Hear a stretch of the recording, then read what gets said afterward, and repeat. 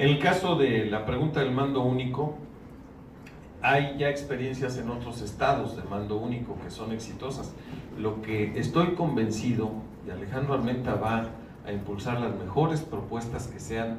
eh, que sean efectivas para un tema que nos concierne a todos, más allá de la política y más allá de una campaña, es el tema de la seguridad se tiene que resolver